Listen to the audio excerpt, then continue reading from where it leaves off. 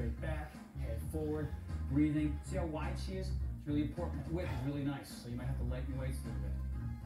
Great, you guys. We got three left. Here we go. Last one.